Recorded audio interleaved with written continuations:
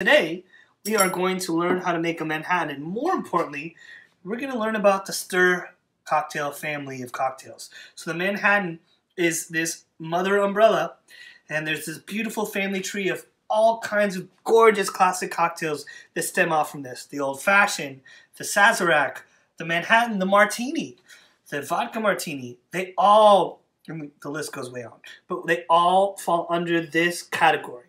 And we're going to treat these ingredients differently than we did, uh, say, the sour family. So what we have here is exclusively spirituous ingredients. This benefits from a low and slow method.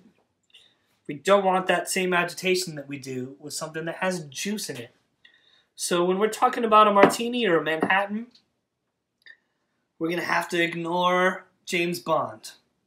We've all heard the shaken not stirred martini reference, and while that may be a great metaphor for life, a good martini it does not make. So let's learn how to make it colder. Let's learn how to make it more silken. Let's learn how to make it more delicious. I promise you, the wee bit of patience that it requires is totally worth it. So let's learn how we do it. So as we make our Manhattan, let's learn this template. So we're going to start with an ounce of sweet vermouth. I'm using a gorgeous Italian spicy sweet vermouth to pair with this beautiful rye that I'm using today. So one ounce of that sweet vermouth is Punta Mess. A few dashes of some Angostura bitters. What are bitters? Well, bitters are a very concentrated infusion of spices and botanicals that are used kind of like salt and pepper for a cocktail. Now we're going to hit it with two ounces of some rye whiskey here. And again, we do not want to shake it here. This does not benefit at all from agitation or aeration. This liquid is a lot like me. It's plenty agitated as is. Thank you very much. So we're going to hit it with some ice.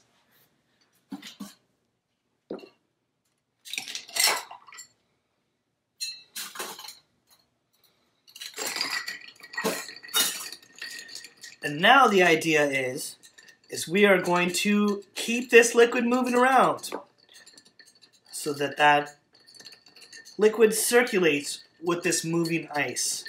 And in doing so, we have an end result that's about 20 degrees colder than had we shaken it, but without bruising it, agitating it, shaking it, over diluting it, we have this gorgeous uh, viscosity that gives it this beautiful textural thing that makes the cocktail so enjoyable and everybody wins.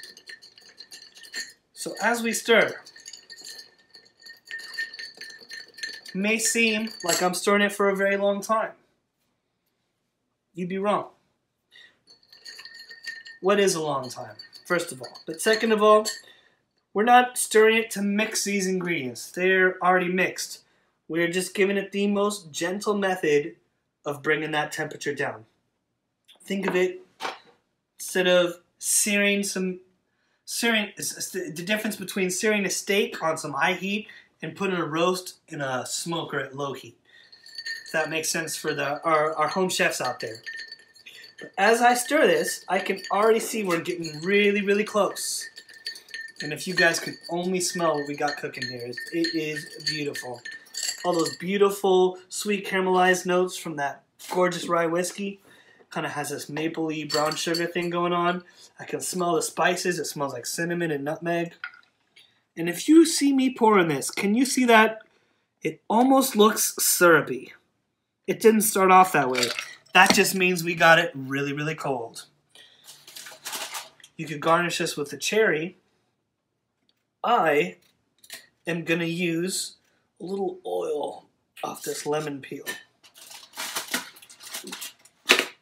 Now, did we make a cocktail? Yes, we did. But hopefully, your takeaway is not a recipe, but a formula. You can switch the rye whiskey for any spirit. You can sub out your sweet vermouth for anything that is lower ABV.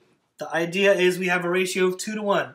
Two parts of something uh, full proof, 80 proof or higher, and then something else lower ABV, ABV, usually wine based.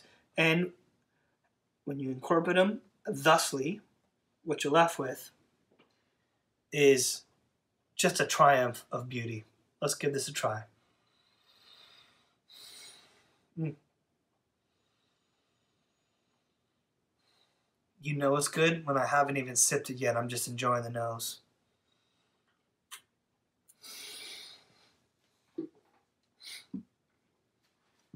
That is drop dead gorgeous, and that is a Manhattan, and that applies to any spirit. Hope you guys were able to uh, take away the template we were trying to get across, and here's to wishing you guys great drinking at home while you're hunkered down. Cheers, be safe, be well. Looking forward to seeing your faces here at the club soon.